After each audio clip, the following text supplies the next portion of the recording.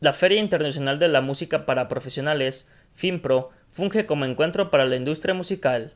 Considerado uno de los más importantes de México y Latinoamérica, este año vuelve con un formato híbrido a raíz de la pandemia de COVID-19, situación con la que el coordinador de producción y difusión musical de Cultura UDG, Sergio Ramírez, reflexiona. Y sabemos que eh, estos fenómenos no afectan de manera homogénea, de manera pareja, de manera democrática, digamos, a todo, a todo, a todo el sector, sino que unos se ven mucho más afectados que otros y sobre todo tienen menores posibilidades de una rápida recuperación. Y por ello eh, hemos hecho énfasis nosotros, así como lo han hecho otras eh, entidades, en, en los artistas locales y los artistas nacionales. Entre las novedades de esta edición están las becas.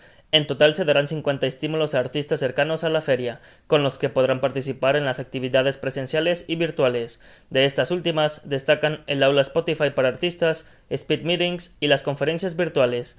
Además, dentro de las actividades presenciales están las conferencias, talleres y showcases, además del acceso al área de networking. FinPro 2021 se llevará a cabo del 13 al 15 de octubre con sede principal en el Conjunto Santander de Artes Escénicas. Para saber más sobre el programa, visita filmguadalajara.mx. Para señal informativa, Vicente Villanueva.